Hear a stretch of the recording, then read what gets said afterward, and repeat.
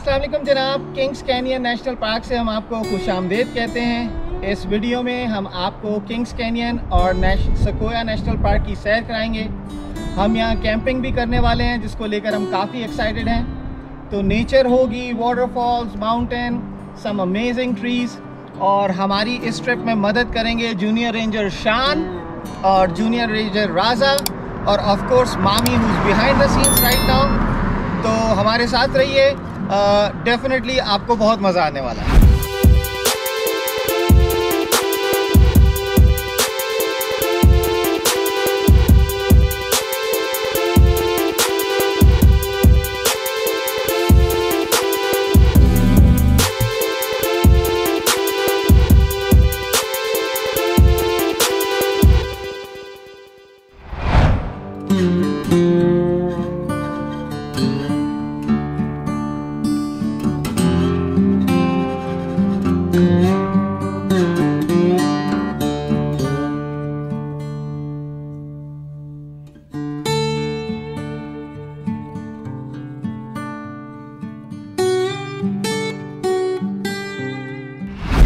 Kings canyon के बारे में एक फन फैक्ट ये है कि ये कैनियन जो है, जो ग्रैंड कैनियन है एरिजोना वाली, जो दुनिया भर में मशहूर है, ये कैनियन उससे ज़्यादा डीप है। तो लोगों को आमतौर पर ये बात पता नहीं होती। तो आइए जनाब आपको ये कैनियन दिखाते हैं और हमारे सराउंडिंग में जो माउंटेन्स हैं so let's check it out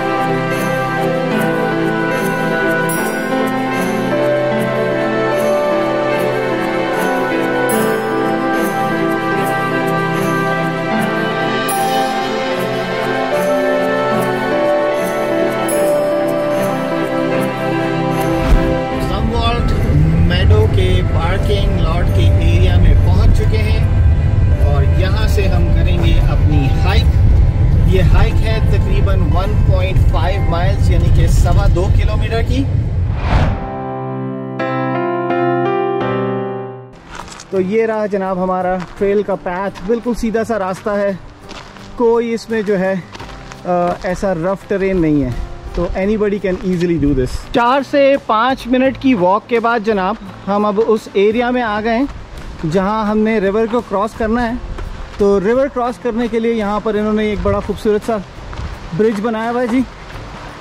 तो चलते हैं हम ब्रिज के ऊपर।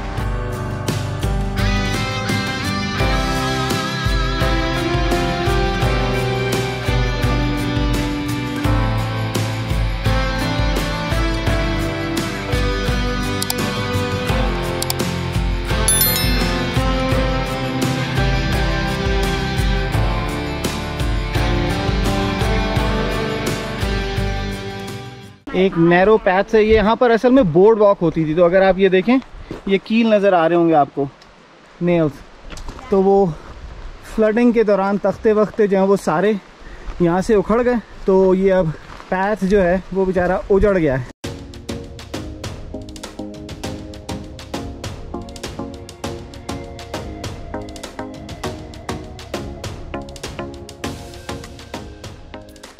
तो ये है जनाब जम वॉल्ट मेडो अब हम क्या करेंगे जी? हम इसके अराउंड यू पूरी हाइक करेंगे और ये जो ऊपर रास्ता जा रहा है, सामने पत्थरों की तरफ़, इस तरफ़ तो ये फिर हम ऊपर से वापस, वो जो ब्रिज था, जो हमने अभी क्रॉस किया, उसी की तरफ़ वापस जाएँगे। ये अब हम उस जगह पर आ गए जहाँ से हमारी ट्रेल थोड़ी सी रॉकी हो गई है। और डिफरेंस जो है वो जैसे जैसे अब हम आगे बढ़ते चले जाएँगे तो थोड़े से ऊपर से हमें वो क्लियरिंग नज़र आएगी दोबारा से मेडोज़ की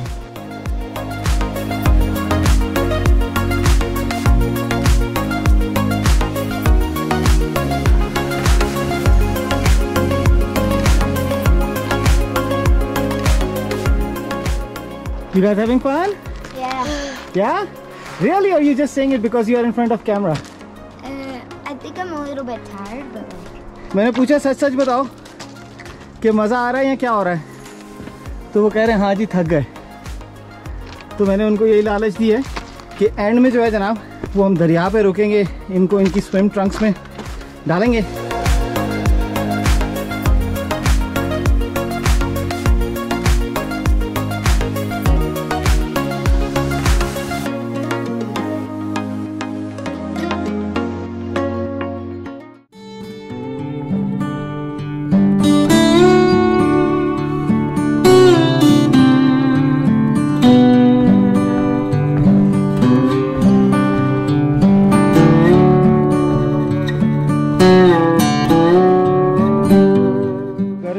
हाइक करने के बाद अब हम आ गए हैं दरिया में। पानी का फ़्लो बहुत कम है। दरिया में ऑब्वियसली समर टाइम है तो पानी का फ़्लो कम हो जाता है जी। और यही जगह जो है, आप यहाँ तस्वर भी नहीं कर सकते खड़े होने का। अप्रैल और मई के टाइम पे, क्योंकि उस वक्त गशिंग वाटर होता है।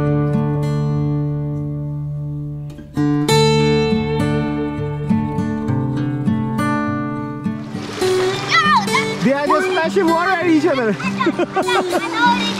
You're already done. हम पहुँच गए जनाब रोरिंग रिवर फॉल्स के ट्रेल हेड पे। ये रहा उसका साइन बराबर में ही हमारे जो है जनाब पार्किंग लॉट है।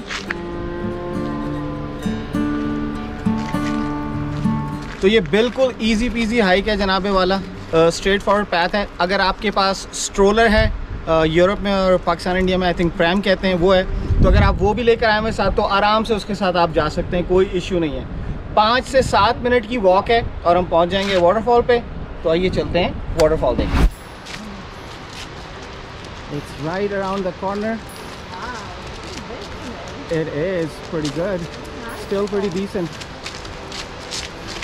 अप्रैल और मई के महीनों में यहाँ पर आए तो गशिंग वाटर होता है, बिल्कुल प्रेशर बहुत ज़्यादा होता है।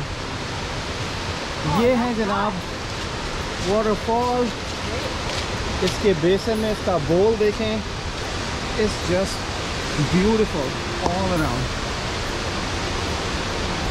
और ये बोल्डर्स जो हैं रॉक्स वगैरह की पायल हैं यहाँ पर।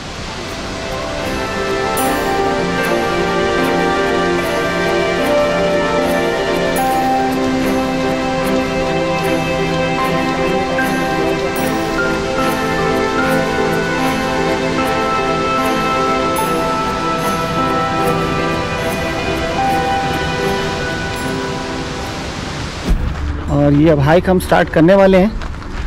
एला फॉल्स ठीक है जी, दो माइल की ये हाइक है वन वे तो चार मील यानी छः किलोमीटर तो ऑलरेडी जो है, आज सवा तीन माइल यानी कि पाँच किलोमीटर चल चुके हैं। ये कुछ रास्ते में व्यूज़ जिन जगहों से हम जा रहे हैं। तो अब हम अपनी हाइक कंटिन्यू करते हैं। Let's see how it goes कहते हैं ना कि और हम चलते रहे। और कारवां बनता गया। तो देखें जनाब, हमारा भी कारवां बन ही गया। जनाब हाइक के एंड में you get treated with these beautiful pools तो चलते हैं जी अराउंड द कॉर्नर यहाँ थोड़ा सा ट्रैफ़िक जाम है। वो एक पार्टी जो अचानक एंड में हमारे साथ ज्वाइन हो गई। तो काफ़ी सारे लोग नीचे उतर रहे हैं। These are the pools.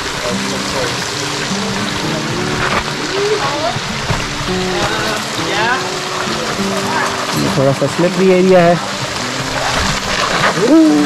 और ज़्यादा गिर गए। Okay okay be careful slowly around here it's slippery here clearly ये एरिया काफ़ी स्लिपरी है जी। सब लोग ही स्लिप कर रहे हैं यहाँ पर। Look at that. This is what you work so hard for. I wish we got a swim trunks, Daddy. Daddy, I wish we got a swim trunks, Daddy. All right. Daddy, I'm a ये है जनाब वो pool जहाँ पर हमारी height ख़त्म होती है एंड it is pretty.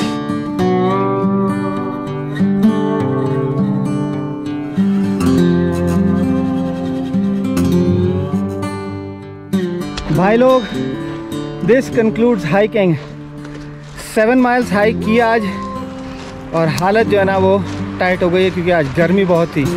सर्दी में हाइक करना बहुत आसान है लेकिन 90 प्लस डिग्रीज में सेवन माइल्स सेवन माइल होते हैं जनाब साढ़े दस किलोमीटर बच्चों के साथ। तो that was quite a bit but you know what we did it yes Ice cream time! Ice cream time absolutely भाई साहब इतनी हाइकिंग के बाद ना एक नहीं दो दो बनती हैं।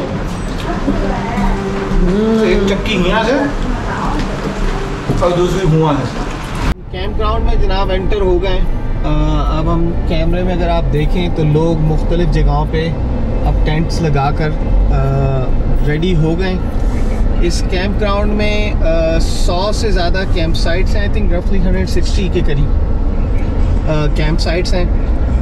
मुख्तलिफ़ सहूलतें अवेलेबल हैं ट्रैश की सहूलत अवेलेबल है, यहाँ वॉशरूम्स भी हैं जनाब। इसी तरह हर कैंप साइट पे फायर पिट भी है, ताकि अगर आप कुछ पकाना चाहें आग के ऊपर या रात को बॉन फायर करना चाहें तो वो भी कर सकते हैं। ये चूँकि बेयर कंट्री है जनाब, इसलिए बेयर लॉकर भी जो हैं, वो हर कैंप साइट के ऊपर अवेलेबल है। तो ये है जनाब हमारी कैंप साइट हम सुबह जब आए थे तो हमने कुछ चीज़ें जो है ऑलरेडी निकाल कर रख दी थी। तो रेस्ट ऑफ़ द सेटअप अब हम कंप्लीट करेंगे और फिर आपको दिखाते हैं फाइनली सब कुछ सेट होने के बाद कैसा लगता है। Welcome to Casa Ahmad ji. Casa कहते हैं स्पेनिश में घर को। तो आज रात को चूँकि हमारा घर यही है तो आइए जनाब।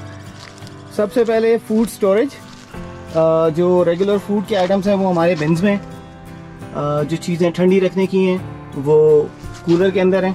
अच्छा जी, ये बेयर बॉक्स होता है, ताकि भालू जो है, वो आके आपको तंग ना करें, इसका लॉक मैकेनिज्म मज़ेदार होता है तो भालू जो है उसको खोल नहीं सकते।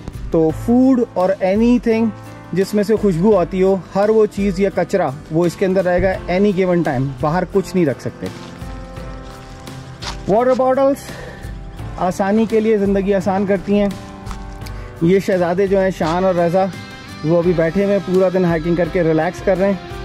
तो यहाँ जनाब, अभी हम थोड़ी देर में फ़ायर स्टार्ट करने वाले हैं।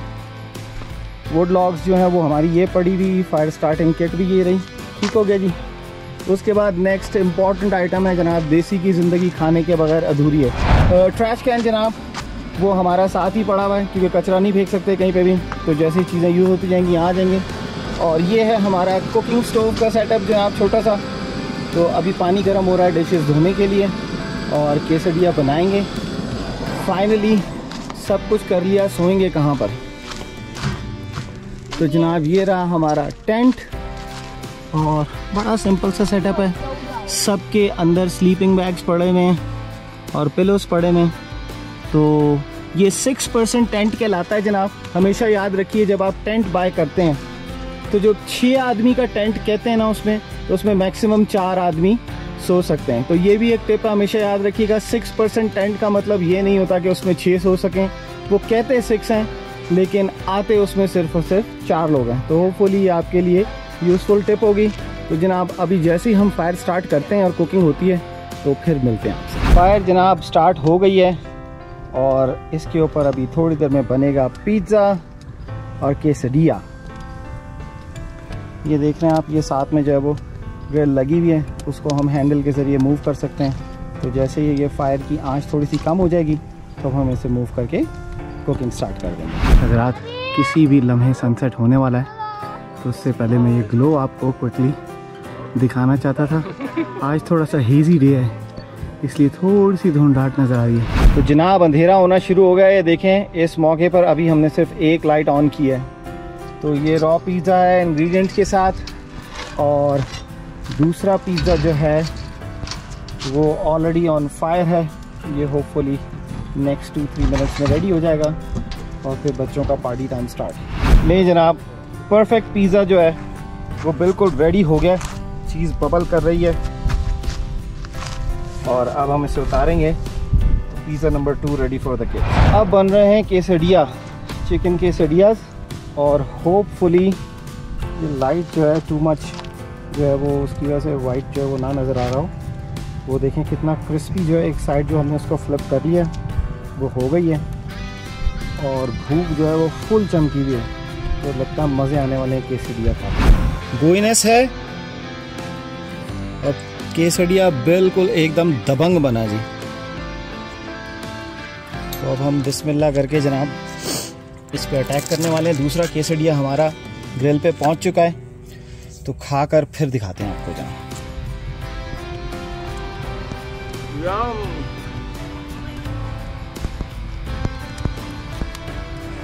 बॉन फायर चिकन केसरिया चांदनी रात और क्या चाहिए यार? जनाब अभी हम बनाने वाले हैं स्मोर्स जो कि ट्रेडिशन है कैंपिंग का ख़ास तौर पे अमेरिका में तो बहुत ज़्यादा होता है और दुनिया के दूसरे डिफरेंट कंट्रीज़ में भी होता है। इसके लिए चाहिए होती है हमें तीन चीज़ें। क्रैकर हर्शीज़ की चॉकलेट और ये मार्श तो क्रैकर्स के ऊपर रखी हमने चॉकलेट अब हम क्विकली इन मार्श को लाइटली रोस्ट करेंगे फायर के ऊपर. जैसे उनका चेंज होगा कलर ये बिल्कुल नरम हो जाती हैं. जैसे हम इसको बिस्किट के दरमियान रखेंगे क्रैकर के दरमियान, ये एकदम मेल्ट हो जाएँगी और उसका बनेगा ज़बरदस्त सा सैंडविच तो ये हो सकता है आप किसी भी वक्त शायद फायर पकड़ लें. They are turning brown looking good oh mama perfection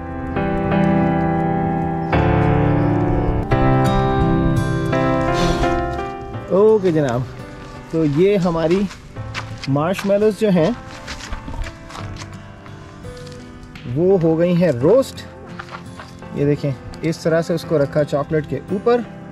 ये देखें, कैसे गुई जो है वो लेस की तरह स्लाइड करके निकल आई. इसी तरह दूसरा पीस ये बन गया हमारा दूसरा सैंडविच जनाब।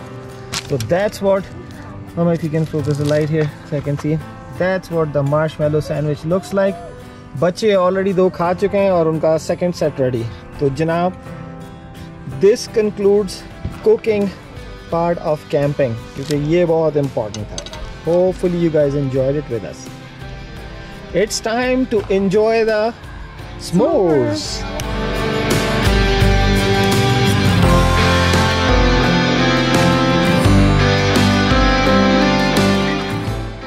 We hope you enjoyed this vlog with us. Let us know your thoughts in comments.